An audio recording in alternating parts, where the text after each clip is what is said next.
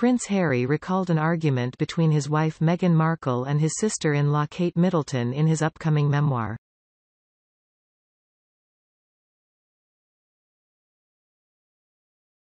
In a report on Spare published by the Daily Mail, Prince Harry described a confrontation between the two women after Meghan referenced Kate's baby brain because of her hormones during a discussion ahead of Prince Harry and Meghan's May 2018 wedding.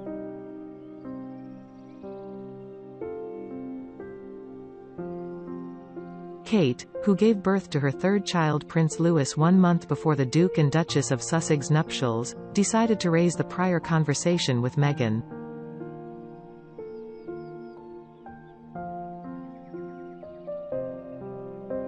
It caused such a huge row because Meghan was told that she wasn't close enough to her sister-in-law to discuss her hormones, and it wasn't the way people spoke to each other within the royal family, a source told the outlet.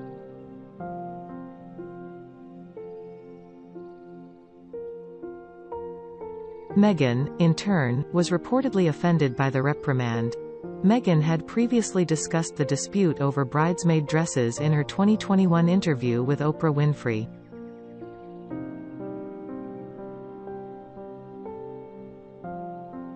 After media outlets reported that Meghan made Kate cry in the lead-up to the royal wedding over Princess Charlotte's dress, Meghan gave her own version of events.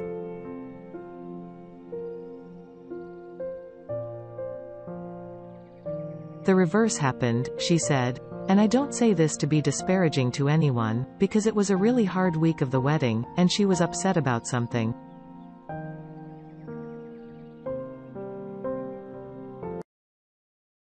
But she owned it, and she apologized and brought me flowers and a note apologizing, Meghan said.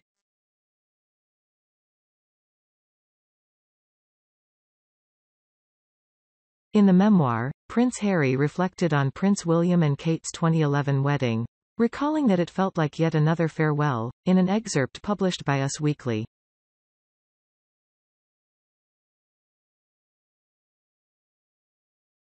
The brother ID escorted into Westminster Abbey that morning was gone, forever, Prince Harry reportedly wrote.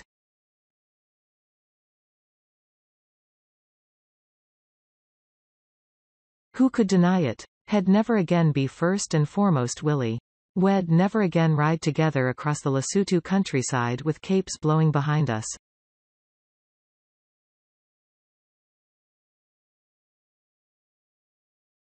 Wed never again share a horsey-smelling cottage while learning to fly. Who shall separate us? Life, that's who.